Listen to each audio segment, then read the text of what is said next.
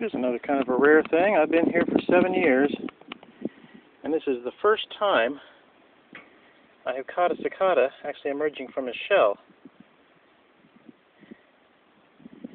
He's still got a lot of wing pumping up to do.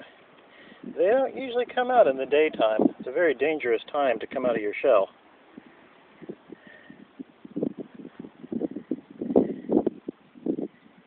Hopefully he'll be okay.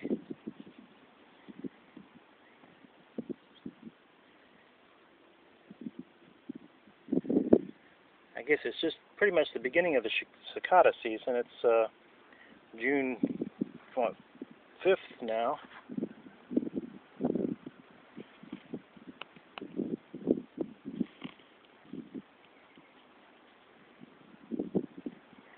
So it'll be probably another 20 minutes to half an hour and he'll be ready to fly off.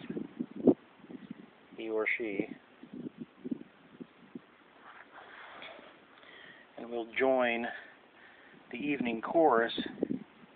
Haven't really heard very many cicadas yet this year. So I guess he's one of the first.